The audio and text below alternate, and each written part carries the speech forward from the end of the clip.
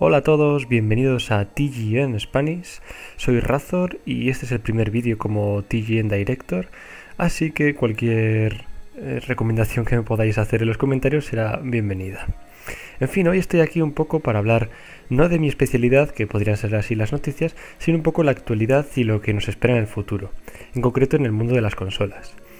¿A qué viene todo esto? Y es que a principios de este mes, en Las Vegas, en Estados Unidos, eh, se celebró el CES, que es el Consumer Electronic Show, en donde diferentes empresas del mundo de la tecnología nos muestran sus avances o lo que se espera de ellas a lo largo de este año y los próximos años.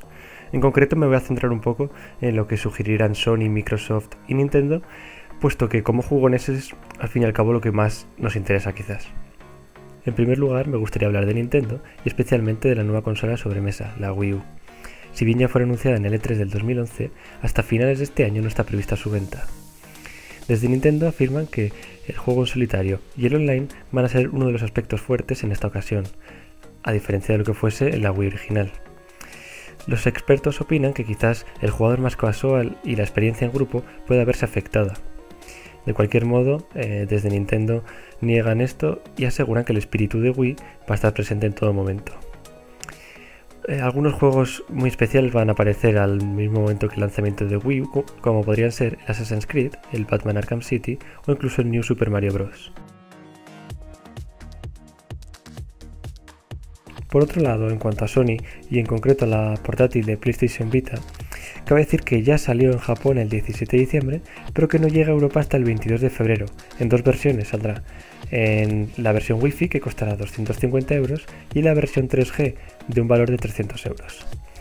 Lo que más destaca de esta portátil sin duda son los gráficos tan increíbles y un potente sistema que según sus creadores es mm, casi similar al de PlayStation 3, pero bueno, que se antoja un poco complicado imaginarse eso. Pues hablando todavía de Sony, en cuanto a la consola de sobremesa, la PlayStation 4, existían varios rumores sobre todo a finales del año pasado, de que en el E3 del 2012 presentarían en sociedad a la nueva consola, la PlayStation 4. Sin duda, en el CS lo han negado tajantemente desde Sony y han comparado un poco el ciclo de vida actual de PlayStation 3, que según ellos se encuentra en su mejor momento, y le esperan una vida de unos 7 años. Con lo cual, si bien PlayStation 3 salió en 2006, podríamos decir, quizás sin riesgo a, a equivocarnos, que durase hasta el 2013 la PlayStation 3 lo que situaría la salida de PlayStation 4 a comienzos del 2014. En cuanto a las malas lenguas, aseguran que a pesar de que la, nueva consola de Sony está menos desarrollada todavía que la de Microsoft, aseguran que quizás esta primera va a ser más potente que la Xbox 720. Por último, la situación de Microsoft es bastante similar a la de Sony.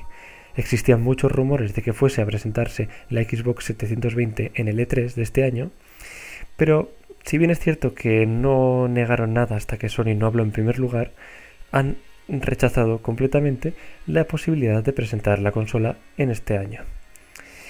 Han asegurado también que está en una fase bastante desarrollada de su producción y confirman que actualmente los primeros modelos de experimentación de la Xbox 720 se encuentran en su fase de producción, pero que hasta finales del 2012 no podremos empezar a hablar de una versión comercial.